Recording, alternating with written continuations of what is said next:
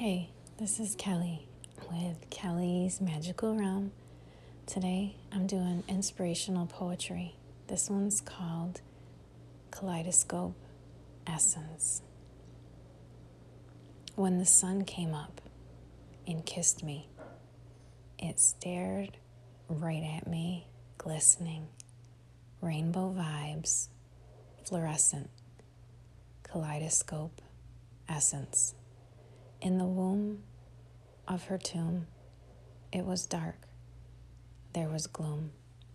Then along came the sun. As it shined on my face, it lit me up, gave color to my space.